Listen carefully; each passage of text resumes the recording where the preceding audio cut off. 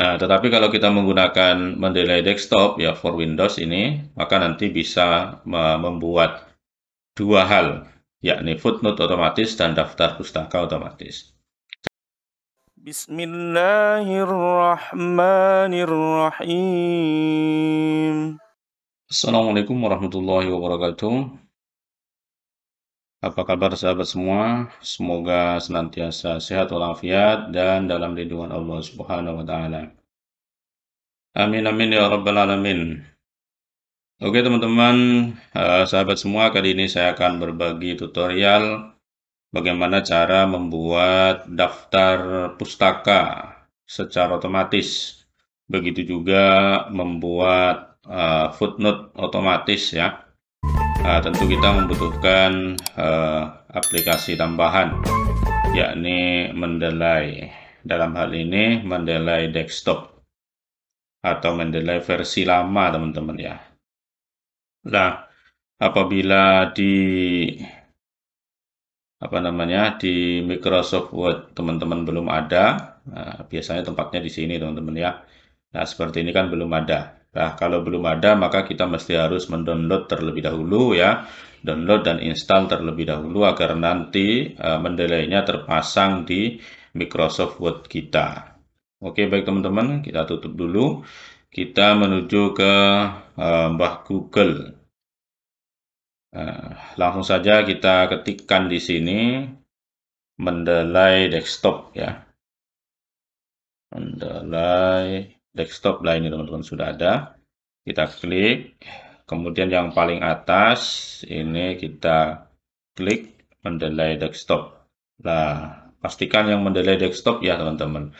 Uh, kalau sebelumnya saya sudah membuat tutorial tentang mendelay reference manager atau mendelay versi terbaru itu tidak bisa membuat footnote otomatis. Hanya bisa membuat daftar pustaka otomatis ya saat ini ya, kecuali nanti ada uh, update-annya ya.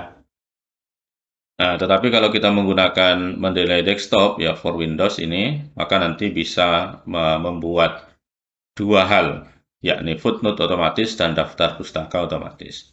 Caranya langsung saja kita download mendelaynya. Nah, ini teman-teman, proses downloadnya ya. Kita tunggu sampai tuntas sudah uh, terdownload ya, tinggal kita klik untuk install ya. Nah, kali install, kemudian klik yes, kita klik next saja, I agree, lanjut, kemudian uh, install ya. Kita tunggu sampai proses instalasinya uh, sukses ya. Kita tunggu saja.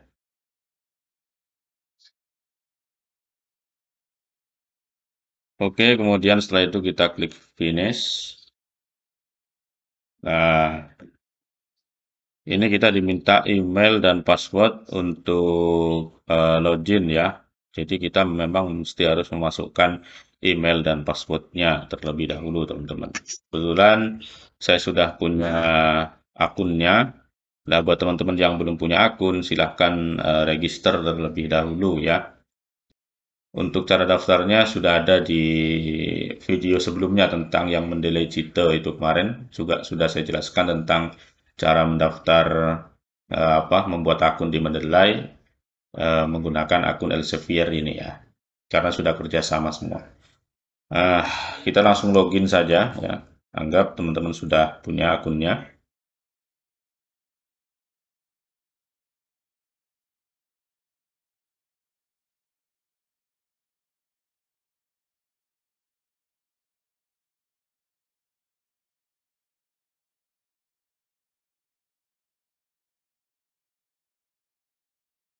Oke, jadi semacam ini, ini sudah uh, login ya, sudah masuk.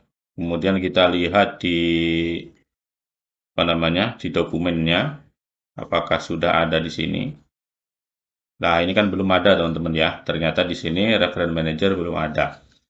Nah, sesuai dengan perintahnya ini, nah maka kita uh, bisa install dulu, uh, install terlebih dahulu ya untuk apa namanya uh, mendelay desktopnya. Nah, caranya adalah langsung saja kita klik yang ini, install new ini ya. kemudian kita klik yes ya. Kita klik yes. Nah, ini sedang proses menginstal. Ah, ini teman-teman sudah installed ini teman-teman ya. Artinya sudah diinstal eh, baik di apa namanya Mendeley desktopnya maupun di Microsoft Word-nya. Coba kita lihat lagi Microsoft Word-nya. Kita lihat referen. Lah, ini teman-teman. Jadi sudah muncul uh, mendelainya ya. Kalau tadi kan belum ada. Ini sudah ada. 2000 years. Setelah terinstall seperti ini, lalu bagaimana cara menggunakannya? Kita langsung saja menuju ke apa namanya Microsoft Word ya. Nah, kita misalnya akan mengutip ya tentu harus di, dicari dulu apa yang akan kita kutip ya. Misalnya kita mencari uh, jurnal di Google Scholar lah ya. Kita ketikkan Google Scholar semacam ini. Nah, kemudian misalnya saya akan mencari tentang manajemen sumber daya manusia ini ya. Nah, kita cari-cari yang jurnal Nah, misalnya yang ini sajalah. Kita klik dua kali. Nah, semacam ini. Kemudian kita download dulu ya. Teman. Oh, ini sudah terdownload ya. Kita download lagi. Nah, misalnya begitu. Kemudian cara mengutipnya eh, kita cari dulu apa yang mau diutip ya. Eh, misalnya bagian inilah Nah, manajemen sering diartikan sebagai dan seterusnya misalnya. Kita copy ya. Sebelum kita paste ke Microsoft Word, kita paste dulu di browser seperti ini. Nah, tujuannya agar apa? Agar tulisannya bagus ya. Nah, coba kalau kita langsung paste, ya copy, kemudian kita paste di sini misalnya. Paste ya. Nah, akan putus begini teman-teman ya, uh, rusak. Nah, oleh karenanya uh, kita copy, kemudian kita paste dulu di browser, ya. kemudian kita uh, apa namanya Ctrl Alt, kemudian copy lagi ya, Ctrl C, kemudian baru di paste di sini, Ctrl V di sini. Nah, akan jadi bagus ya teman-teman. Nah, kalau mau diluruskan ya diluruskan saja, atau nanti secara bersama-sama tidak apa-apa. Nah, berikutnya ini tadi kita kutip dari dari sini ya, dari web ini sudah kita download tadi. Uh, kita buka saja dulu ini di tempat lain ya. Kemudian kita balik lagi ke apa namanya Google Scholar-nya. Nah, tadi yang kita kutipkan dari sini. Nah, agar mudah, langsung saja kita klik bagian kutip ini teman-teman ya. Ini kutip, klik kutip, Nah, kemudian kita klik yang refman ini, nah, maka sudah tersimpan di sini ya, eh, dalam format RIS.RIS ini teman-teman ya. Nah, kemudian berikutnya, kalau format RIS-nya sudah tersimpan, kita masuk ke Mendeley sini ya. Kemudian eh, agar ini tidak campur, ini karena saya sudah sering ngutip ya makanya uh, banyak. Kalau teman-teman yang belum pernah, maka di sini masih kosong. Kita bisa buat folder baru ya, folder baru ya. Misalnya tentang uh, manajemen SDM lah. Oke, kemudian kita enter. Lah, maka di folder manajemen SDM ini kan masih kosong ya, masih kosong. Kemudian kita uh, masukkan format RIS tadi ya ke sini ke folder manajemen SDM ini. Caranya kita klik file, kemudian di sini ada impor, ya, file impor, kemudian di sini ada RIS, kita klik RIS. Lah, maka di sini kita diminta untuk memasukkan format RIS yang akan kita uh, impor. Tadi yang ini ya, teman-teman. Kemudian klik open. Lah, otomatis ini akan masuk seperti ini datanya. Nah, tapi pastikan sebelum nanti dipanggil ke Microsoft Word, memang datanya sudah lengkap ya. Mulai dari judulnya, nama penulisnya, nama jurnalnya, tahun terbit, volume, isu, kemudian halamannya, seperti itu ya. Kalau mau dilengkapi, abstraknya juga boleh ya, apa namanya, labelnya, kemudian keywordnya, dan seterusnya. Seperti itu. Tapi kalau sudah seperti ini aja sebenarnya sudah cukup ya. Uh, judul, kemudian nama, uh, nama penulis, nama jurnal, kemudian tahun dan seterusnya seperti ini sudah cukup ya. Kalau mau ditambahkan ya tidak apa-apa. Di sini misalkan mau ditambahkan uh, link doi-nya seperti itu misalnya ya ISSN-nya seperti ini. Oke, uh, seperti ini saja sudah cukup. Kemudian cara manggilnya atau membuat daftar pustaka otomatisnya kita ke sini ya.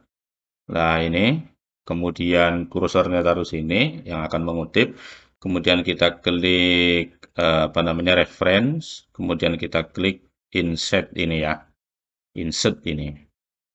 Nah, kemudian kita cari yang mau dipanggil tadi itu hmm, apa namanya? Namanya siapa ini? Susan ya, Eri Susan. Oke. Oke, kemudian kita klik lagi insert ya. Tulis saja Susan di sini. Ah, cari yang sesuai. Nah, ini tadi ya, manajemen sumber daya manusia Eri Susan. Kita klik, kemudian kita oke. Okay. Nah, ini teman-teman sudah muncul ya kutipannya semacam ini. Nah, kemudian kita lihat di daftar pustaka. Nah, karena di daftar pustaka belum kita atur, maka di sini belum muncul otomatis. Kita tinggal enter saja. Kemudian setelah itu klik uh, insert bibliografi ini. Kita klik insert. Nah, ini teman-teman sudah muncul otomatis di sini. Seperti ini ya, teman-teman. Kita kembali ke yang tadi.